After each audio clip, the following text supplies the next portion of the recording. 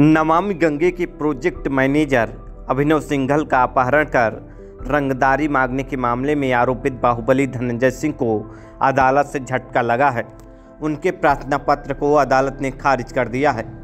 धनंजय और उनके सहयोगी संतोष विक्रम ने इस मामले में उन्मोचन का प्रार्थना पत्र अपर सत्र न्यायाधीश खस्तम शरद त्रिपाठी की कोर्ट ने दिया था, जिसे अदालत ने निरस्त कर दिया है। धनंजय समेत अन्य पर आरोप तय करने के लिए कोर्ट ने 2 अप्रैल की तारीख तय की है।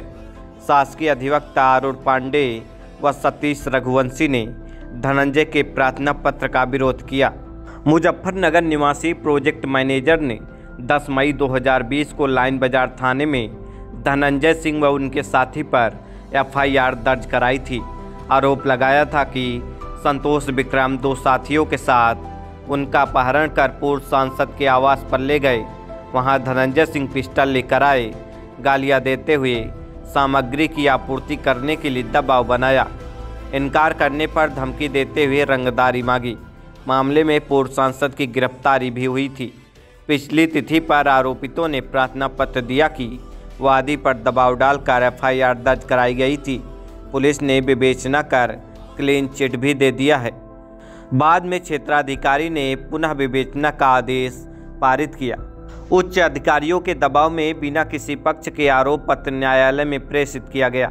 वादी ने पुलिस को दिए गए बयान और धारा एक सौ चौंसठ के बयान में घटना का समर्थन नहीं किया। आरोपितों ने साक्ष्य के अभाव में खुद को मामले से हटाने की कोर्ट से मांग की थी। शासकीय अधिवक्ता ने आपत्ति दाखिल की कि वादी की लिखित तहरीर पर एफआईआर दर्ज हुई है। CCTV footage, CDR, WhatsApp message, गवाहों के बयान, व अन्य पारिस्थिति जन्य साक्ष्य के आधार पर आरोपितों के खिलाफ अपहरण रंगदारी व अन्य धाराओं का अपराध बखूबी साबित है। आरोपितों ने कई बार वादी को फ़ोन किया, अज्ञात लोगों द्वारा दबाव डलवाकर मुकदमा वापस लेने का दबाव बनाया गया। कोर्ट ने दोनों पक्षों की दलील सुनने के बाद आरोपितों का प्रार्थना पत्र निरस्त कर दिया।